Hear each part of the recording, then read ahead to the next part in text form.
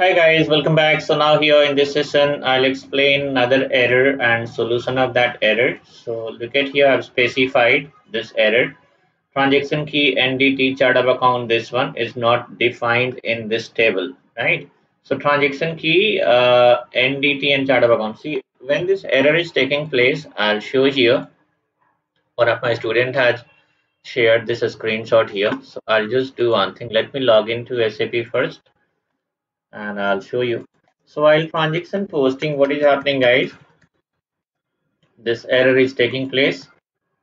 Say for example, use FB60 here. Okay, so there is a company code.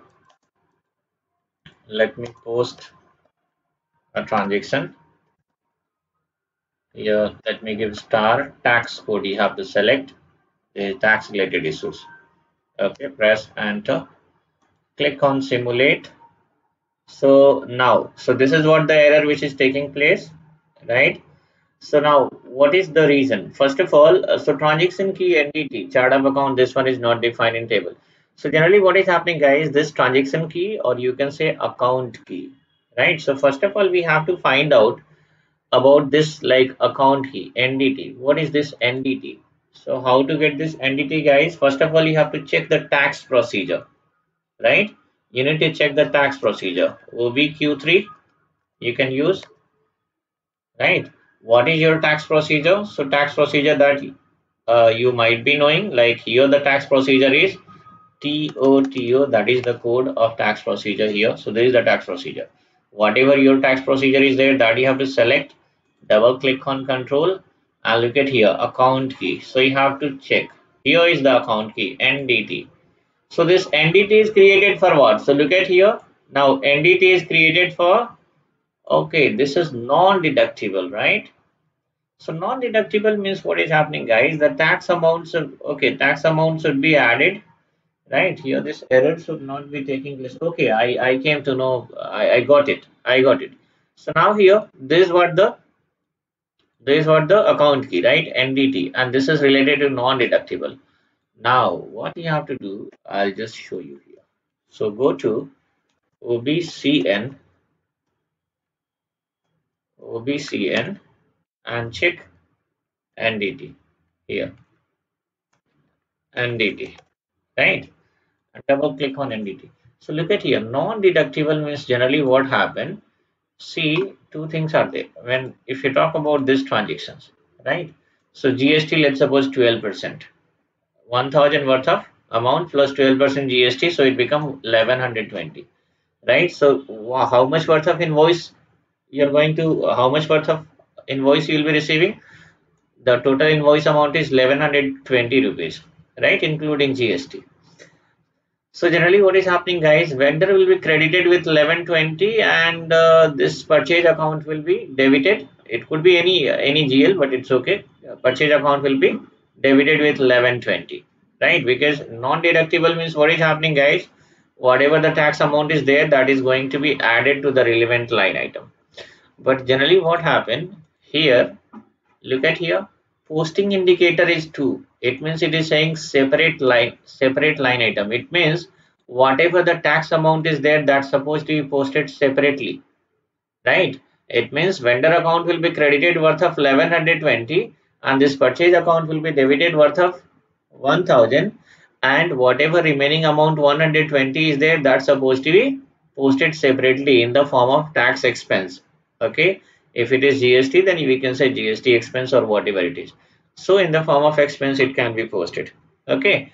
So now it means that 1000 sorry that 120 rupees that's supposed to be posted separately to a particular GL account. So here what is happening, system is not able to identify that particular GL account for which amount for 120 rupees, right? So that is called tax expense or you can say GST expense. So now here, because posting indicator is two separate line items. So what we have to do, go to FS double zero. Let me check whether this GL is created or not. GST This is already created. The GL is already created. Now simply we need to assign this GL account where OB40 is there where we can assign this GL account. Check where is NDT. NDT, na? just come down. Uh, so here, double click, chart of account give, and uh, what is the GL account, guys? So 4000 something was there. Chart of account TOTO. Okay, so here GST expense. This one we can select. Just save it. So now we have assigned the GL account. Now the issue got resolved. Once again, you have to use like which one FB60 because just now we have made the changes. So refresh this screen. Enter your vendor number, date, amount along with taxes. So 1120 worth of invoice we have received, right? Cash purchase you can or purchase whatever it is. And uh, GL account could be purchase account, but it's okay. Cash purchase is selected by the candidate. It's okay, no issues. So anyway, we have to find out the solutions for this, right? And here you can give stock. You can give your tax code and click on calculate tax. Down payment is there, just skip and simulate. Now look at here, SAP is able to find. So now here what is happening? GST expense account. This 120 supposed to be posted to a separate line item, right? So when it is getting posted to a separate line item, there must be a GL account, right? Where this amount will be posted. Of course, a GL account must be there. And this GL account system was unable to identify. Why? Because it is not assigned here against NDT. SAP is able to find out this transaction key or account key, but within this transaction key, GL account was missing. The assignment was missing. That is the reason here this error was taking place. Okay?